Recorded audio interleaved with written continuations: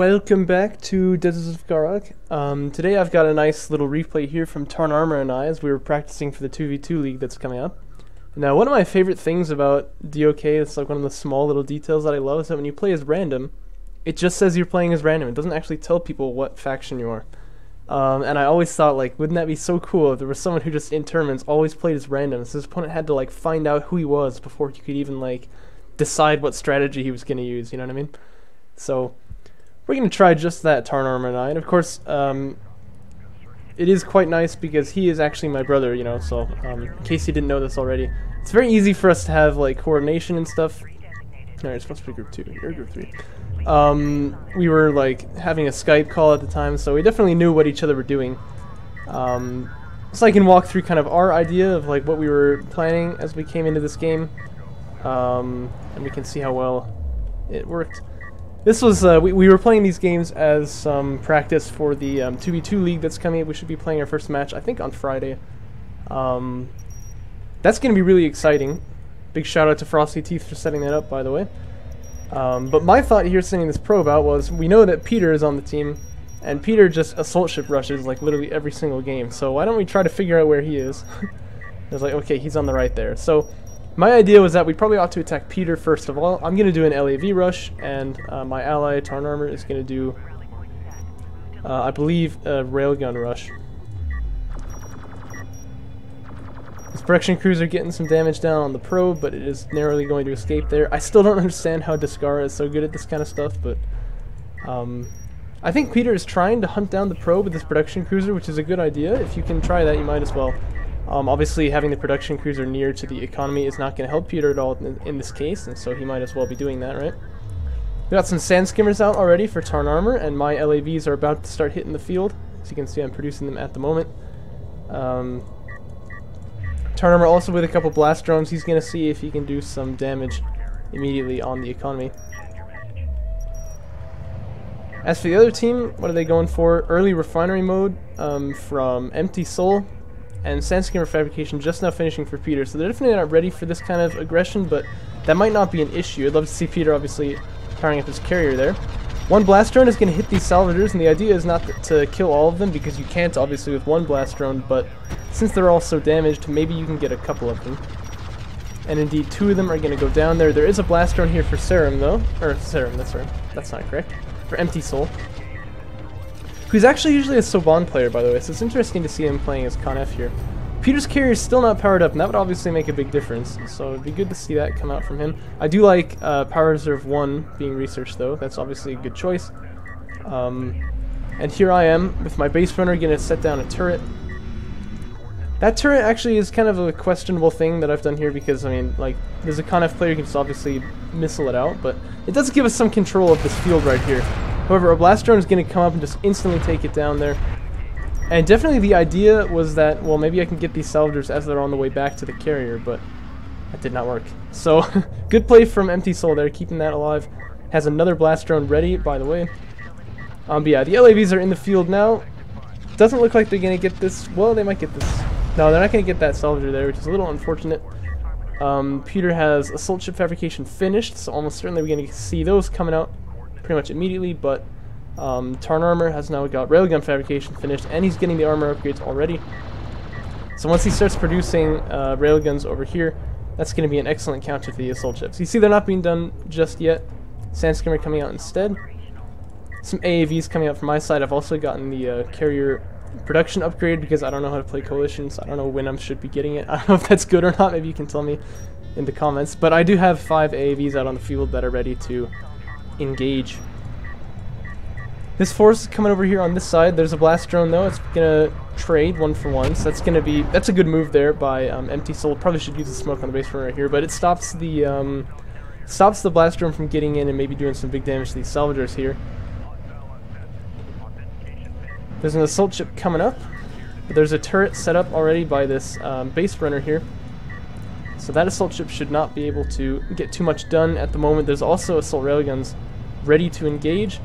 With a blast drone as well, it should definitely be able to take it, even the close range engagement, but probably backing away is still a smart choice, that's what he's going to do. This assault railgun just gets completely wrecked there, probably did not realize that there was a turret set up. And that should probably that should probably force the carrier to move from Empty Soul. Um, just the fact that there's a there's a turret here. You can see I smoke up the turrets that the um, uh, the assault ships cannot do direct damage to it there. Once the smoke clears off, it's going to be able to shoot again, so pretty standard turret micro there. Going to get those two assault ships cleaned out for me. And the sand skimmer's still doing tons of damage to Peter's economy here, so um, we were worried about an assault ship rush, and we definitely don't have to worry about it now. I'd say at this point that's obviously off the, off the table. Um, that's exactly what we want to do. You should also notice, by the way, we accidentally didn't have the artifacts turned on, so there, there's none of those. Smoke comes out a bit late on the A, uh, the AAVs right there. Um, and that smoke's quite awkward as it blocks the salvager that I was about to kill, so I'm not sure why I was doing that. But look at this, these two blast drones come in under cover of the smoke there. So some little coordination there is going to clear off those salvagers as well. And there we go, we've prompted Power Reserve 1, and the carrier begins to move forward. It's definitely going to be using its missiles to clear out this turret post, this anti-air turret post, which we put down because we thought maybe they would move into air to try to counter this. Those two should not be, um, they shouldn't be options at the moment, and we're feeling like we've done enough damage to our opponents so we can back out now. Actually, uh, Empty Soul has got quite a lot of economy going because he already has refinery mode, and I thought at the time that because we had gotten his carrier to leave, he did not have it on the main. I, I don't know why these assault ships are here. Uh, obviously, the carrier could have could have handled all of this and then not taken any losses, but, but that's all right. But yeah, I, I, was thinking he was only on one base because the carrier had to move out, so that we would be ahead because I'm on two and Tarnarmour's on kind of one and a half. But it looks like we're actually a bit more even than I had thought. Um, but that's just fine. That's all we needed. You can see I have a second production cruiser coming out, so I'm going to get on a three base pretty soon.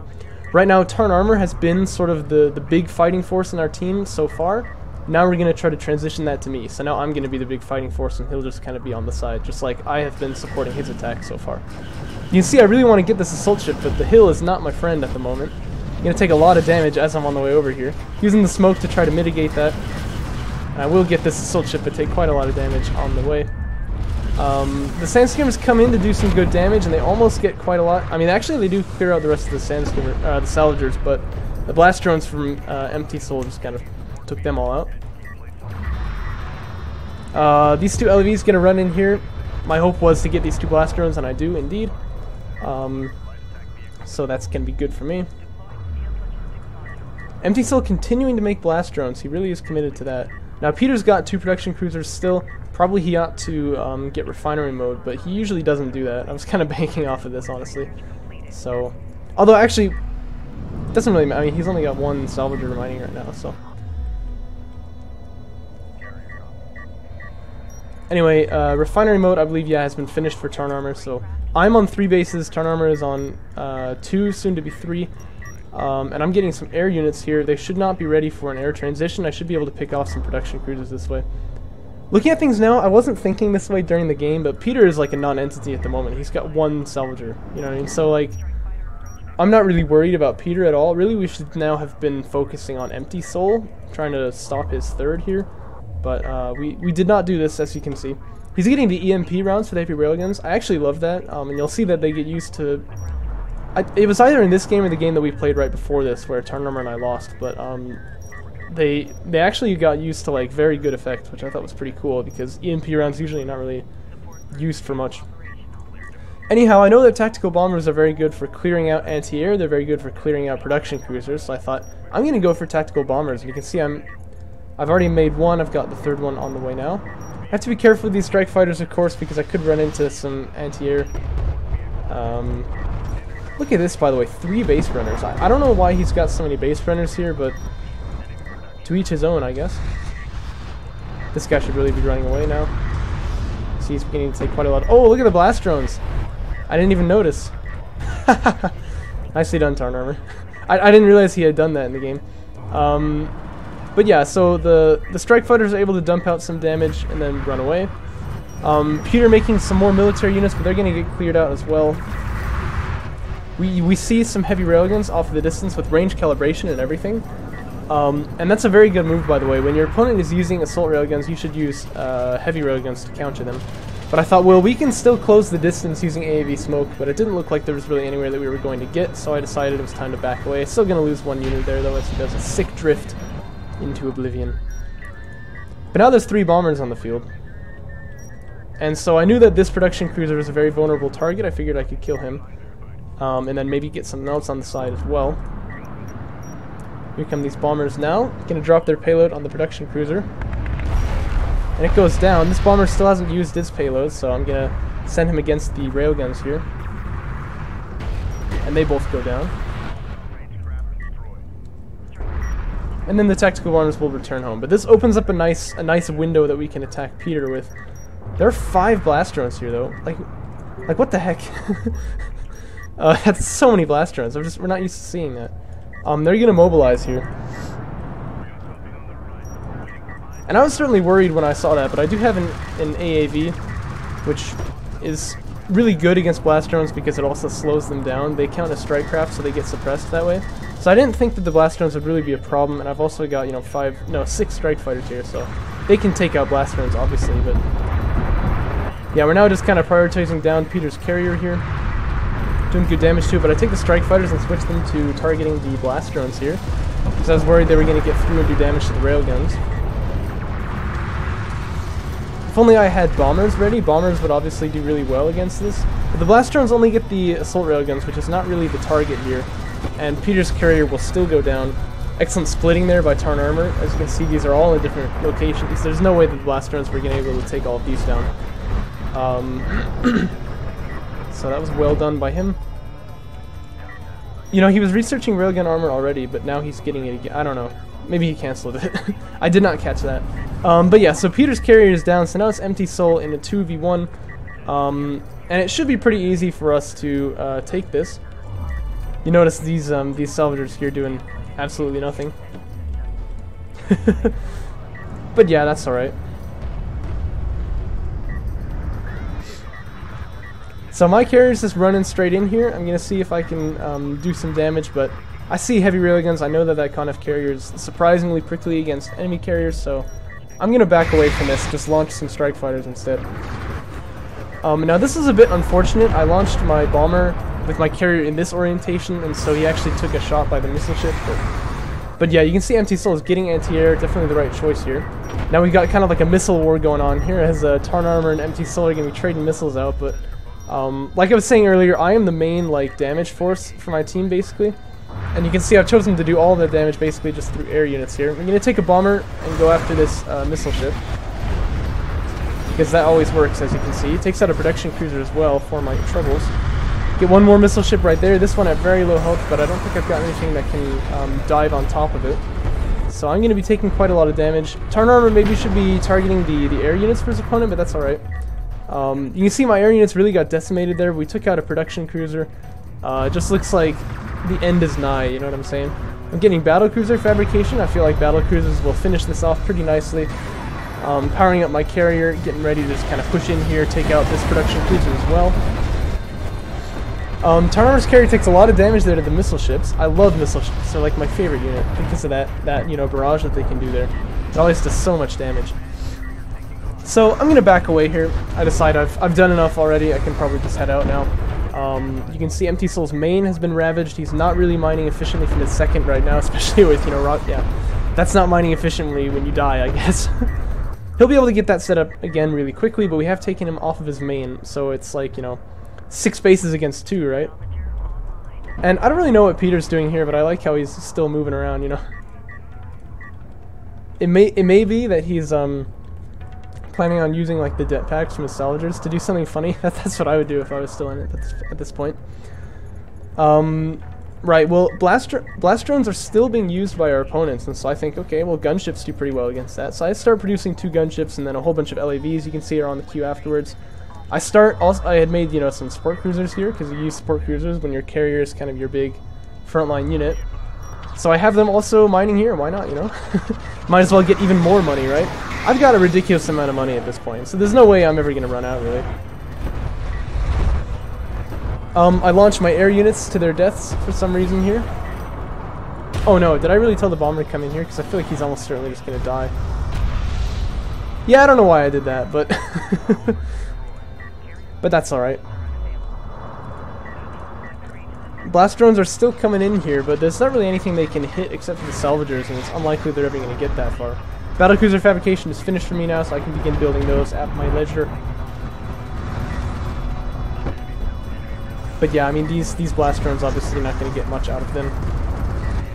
Um, and you can see Tarnarmour is using uh, the healing on his carrier to try to get back in. Now he's powering up the missiles again. Um, getting ready to fire at those railguns that are attacking me. I'm putting my power in armor and I, I, will get out of here. This is not really as dangerous as it looks, really.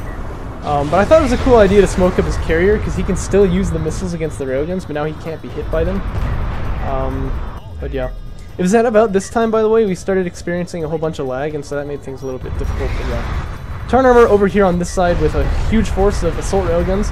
I love this. Assault railguns not really ever used in the late game, and as you can see, they they're useful in the sense that they are kind of like a uh, they're kind of like a one like how do I say they they can handle any type of unit as long as they don't have you know opposition against them. So you can use them and just single-handedly, just only using assault railguns, take out you know an expansion like this. So I really like that move. And now Empty Soul is on no bases. But yeah, you can see heavy railguns here definitely doing their thing against these assault railguns. EMP rounds used against the uh, LAVs, so they're not going to be able to push in and do damage to those railguns. I love that touch. Um, but yeah. I just now have Power Reserve 5, and I see that Empty Soul has clumped up quite a lot, so here comes a cruise missile. And that takes out all the heavy railguns from his force. Those were the ones, of course, that couldn't run away fast enough. With only assault railguns left, it really should just be game at this point. Um, just a matter of time before we're able to push in there. Two battle cruisers getting produced right here. And I'm beginning to launch, I believe, the gunships against this force, if I'm not mistaken. But yeah, Tarnarmour at this point was telling me like, oh my gosh, the lag, I can't target his units with like my missiles. Like he was unable to actually fire the cruise missiles where he wanted to because of the lag. Which I think that's just so funny. Also really annoying, but, but really funny, you know? Um, it's one strike fighter, that's going to turn the tide, right? The big thing is the uh, the gunships, which are going to be launched any minute now here now. But Tarnarmour's carrier is actually in some danger here, obviously, with these railguns getting produced on the side. His force is kind of behind out of the picture. Um, and they're also assault railguns, they need to move past this carrier, so Tarnarmour is going to go down here, actually. Um, but that's that's the lovely thing about about 2v2, right? It doesn't even matter. Um, because Tarnarmour still has three bases up, so it, it doesn't even really matter that his carrier's gone down. Um, here comes my carrier. Got two battle cruisers getting produced at that point right there. Uh, there's a missile ship here which I didn't see, so it took out um, both of the gunships. But they got good value taking out those railguns. And now we're just going to run in here and take out Soul's carrier, so that will be the game.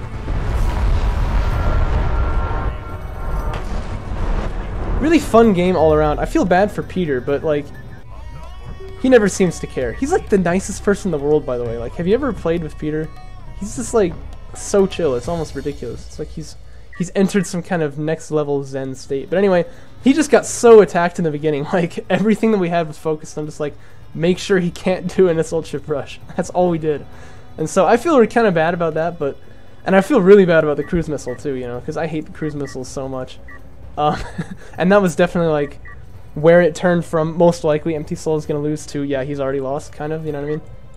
Really, I think they should just remove cruise missiles entirely, but tis no matter. Um, it was still a really fun game, and Empty Soul played incredibly well, so really got to hand it to him for that. I hope we see him in the uh, 2v2 league, and I'm not sure if he's signed up for a team yet, though, so we might not be. But um, he definitely knows what he's doing. He's, he's a really fun 2v2 player, and I would love to see him um, whoa, I'm taking screenshots. I'm just trying to hit backspace twice to recenter the camera, but... Anyway, I hope we see him in the 2v2 league, but um, just thought I'd make this video because I don't really have anything else to do today as far as like videos are concerned. Um, and I'll see you guys uh, in the next video. Who knows when I'm going to make that one on. But yeah.